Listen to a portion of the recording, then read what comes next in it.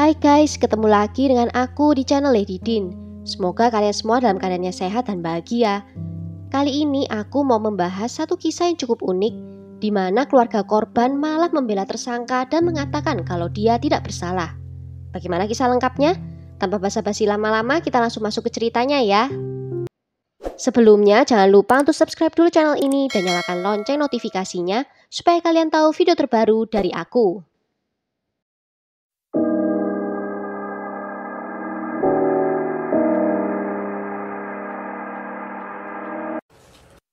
It might be a crime, but he didn't do it. There's nothing, unless you have a video that shows him doing it, I'll never believe it. And then I'd be thinking somebody doctored it because I, I, there's no way I believe ever, ever in this world that he could have ever hurt her in any way. Kathleen West adalah seorang wanita kelahiran tanggal 15 Februari 1975 di Tampa, Florida.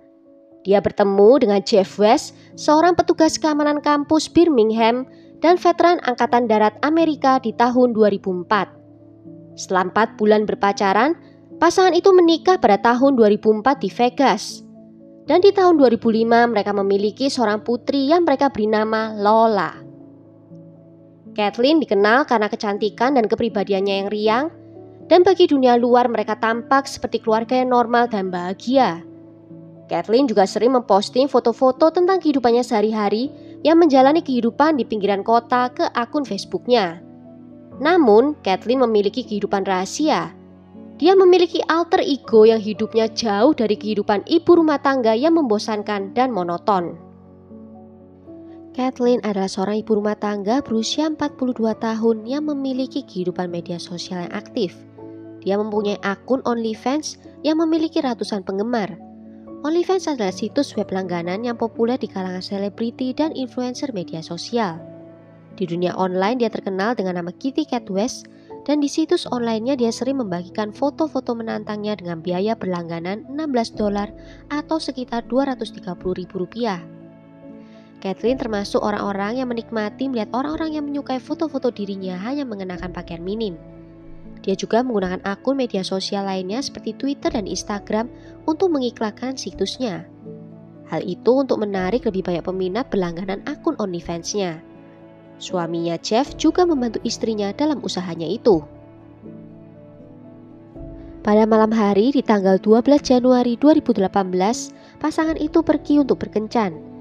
Mereka menitipkan Lola dengan orang tuanya Jeff. Lalu mereka pergi makan malam di Papa The Seafood Kitchen lalu pergi minum-minum di Red Zone Bar and Grill, dan sebelum pulang, mereka pergi ke toko minuman keras dan membeli beberapa botol untuk dibawa pulang. Itu adalah terakhir kalinya Cat West terlihat dalam keadaan yang masih hidup yang tertangkap di kamera CCTV toko. Ketika pasangan itu kembali ke rumah mereka, mereka melanjutkan lagi minum-minum sekitar 6 gelas. Di Instagram Jeff, dia memposting gambar botol minuman keras yang mereka beli Kemudian Jeff juga sempat memotret Kathleen dengan bra berwarna merah muda dan sepatu stiletto berwarna merah muda. Segalanya berjalan dengan baik bagi Kathleen sampai pagi hari di tanggal 13 Januari 2018. Tubuh Kathleen yang tak bernyawa ditemukan di luar rumahnya di Calera, Alabama oleh seseorang tetangga yang melihat dia terbaring telungkup setengah telanjang di seberang jalan dari rumahnya. Tubuhnya ditemukan pada pukul 5 pagi oleh tetangganya yang sedang dalam perjalanan pergi ke tempat kerja. Dia juga mengatakan kalau dia melihat Jeff mondar-mandir saat dia berada di dalam rumahnya. Saat ditemukan, Kathleen hanya mengenakan bra olahraga dan di sampingnya tergeletak ponsel dan sebotol absin yang isinya tinggal separuh. Awalnya polisi berasumsi kalau Kathleen mabuk dan jatuh.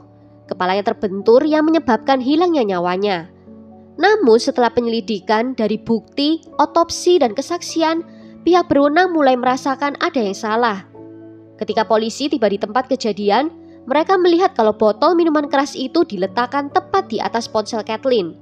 Hal ini terkesan aneh, karena seperti memang sengaja ditaruh di sana. Ahli patologi forensik menyelesaikan otopsi dan memutuskan kalau kematian disebabkan oleh trauma benda tumpul di kepalanya. Dia lebih lanjut juga menjelaskan kalau dengan tinggi badan Kathleen yang mungil, tidak mungkin luka di kepala disebabkan oleh jatuh dan bahwa panjang luka itu mirip seperti botol minuman keras yang ditemukan di tempat kejadian. Dia juga menyatakan kalau kandungan alkohol dalam darahnya mencapai 0,23 atau hampir tiga kali lipat dari batas legal. Supervisor unit barang bukti kepolisian memproses botol minuman keras yang dikumpulkan dan ditemukan bahwa sidik jari yang diambil dari botol minuman keras itu cocok dengan sidik jari dari Jeff. Jempol kiri dan sidik jari manis kiri ditemukan di botol itu dalam posisi terbalik.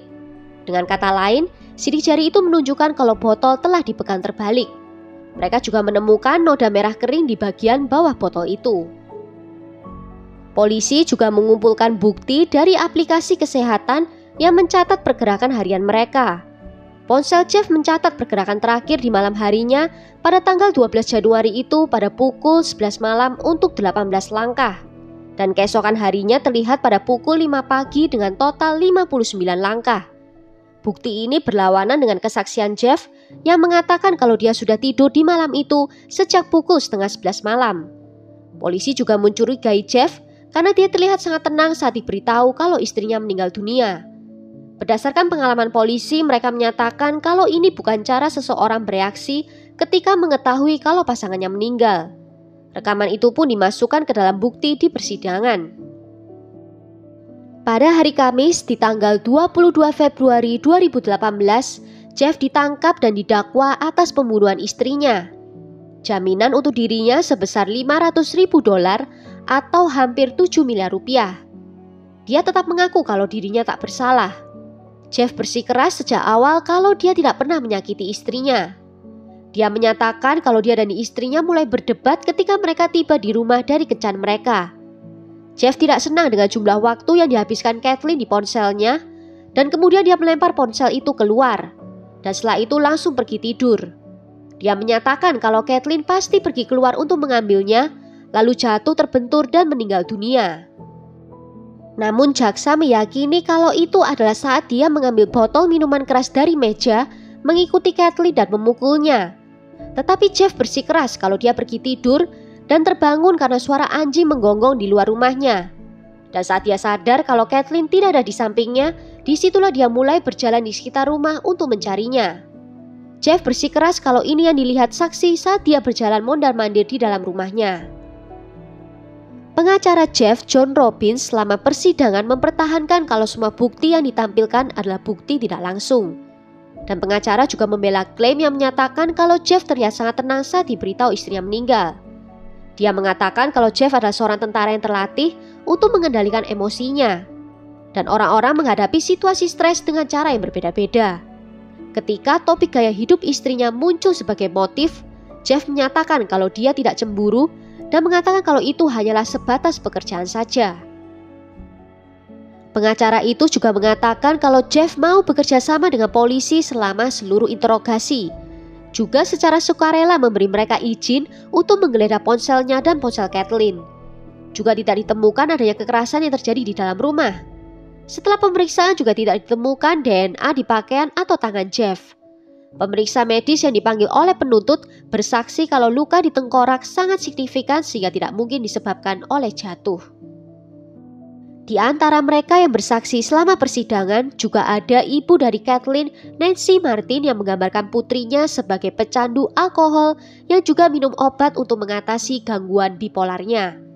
Nancy juga menyatakan kalau putrinya itu tidak bisa minum hanya satu gelas minuman saja, dalam kesaksian juga disebutkan kalau ponsel Kathleen kondisinya dalam keadaan retak. Muncul argumen kalau Jeff mulai lelah dan muak dengan pose-pose istrinya untuk media sosialnya. Jaksa penuntut mengatakan kalau pernikahan Kathleen dan Jeff itu sudah dalam kondisi yang tidak baik. Dan setelah berunding selama lima jam dan melihat bukti yang ada, juri memutuskan kalau Jeff bersalah atas kematian istrinya itu. Dia tidak menunjukkan emosi saat vonis dibacakan.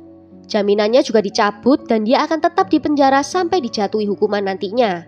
Selama persidangan terlihat kalau kedua orang tua dari pasangan Jeff dan Kathleen tidak percaya pada kesalahan Jeff. Bahkan ibu Nancy menyatakan kalau menantunya itu adalah seorang pria yang baik dan tidak mungkin bisa melakukan hal itu. Ini adalah salah satu kasus yang unik di mana keluarga korban malah memihak tersangka. Setelah juri menyampaikan putusannya, Hakim William Bostic mensurvei juri secara individual yang menunjukkan bahwa keputusannya sudah bulat. Dengan segala pertimbangan, hakim menjatuhkan hukuman yang menurutnya adil. Dia memberikan Jeff hukuman penjara 16 tahun karena mempertimbangkan tidak adanya riwayat kriminal dari Jeff dan permohonan dari putri Jeff dan keluarga. Well, sampai di sini dulu cerita kali ini. Bagaimana menurut kalian tentang kasus kali ini? Apakah Jeff memang bersalah atau tidak? Tulis ya pendapat kalian di kolom komentar. Akhir kata terima kasih karena sudah nonton video ini sampai akhir. Sampai jumpa di video berikutnya. Ciao!